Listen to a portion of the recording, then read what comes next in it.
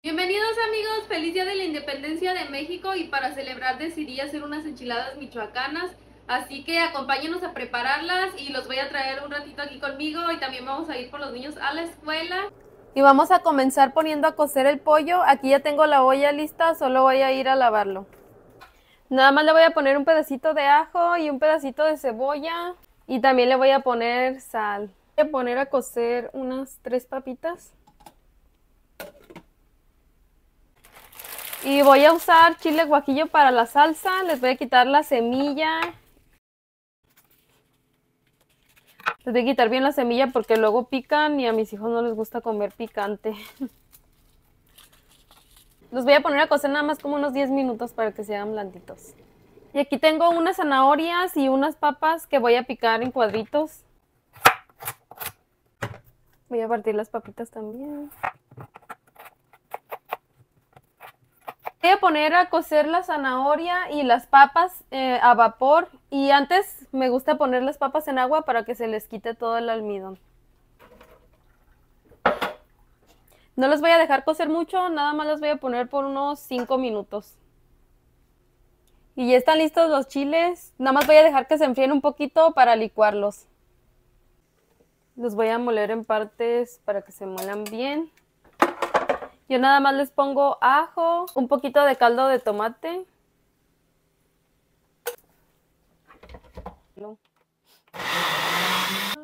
Siempre que utilizo este tipo de chiles me gusta colarlos porque no me gustan los pellejitos, además de que mi licuadora no los muele muy bien. Y mientras se cocina todo voy a empezar a picar el repollo también.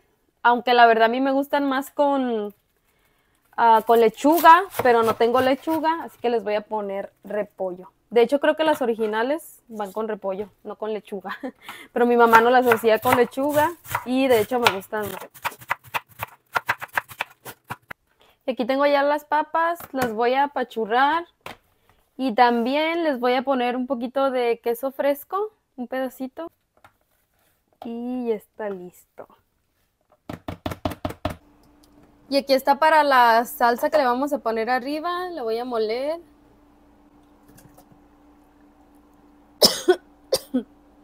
Ay, no. Va a estar bien picosa.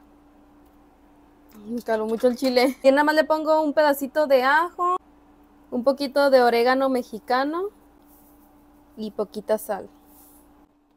Ay, no, y ya nada más con el aroma de esta salsita se ve que va a estar bien picante. Y a la escuela, vamos por ellos.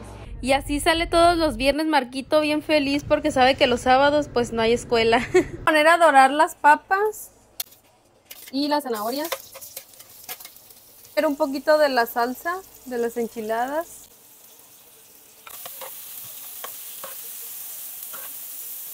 Y también voy a poner a dorar el pollo y lo vamos a meter aquí en la salsita.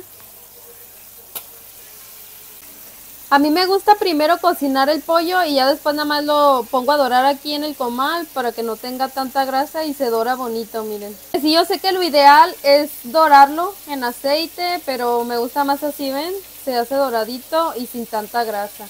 Voy a poner el pollo aquí para empezar a hacer las enchiladas. Les voy a preparar aquí mismo en el comal donde doré las papas y el pollo. Eso sí, si van a hacer estas enchiladas, tengan en cuenta que se hace un reguero de aceite. Mira cómo tengo allá ya. Y de relleno le ponemos las papas con queso y las doblamos. Los voy a servir en este plato grande para ponerle las papas. También le vamos a poner las papitas. Los puse en esta bandejita todo para que ellos se los preparen, pero estas se las voy a preparar yo. Son para mi hija. A poner su repollo. Tomate. Su quesito. Y esta salsita que está bien picosa, le vamos a poner poquita nada más.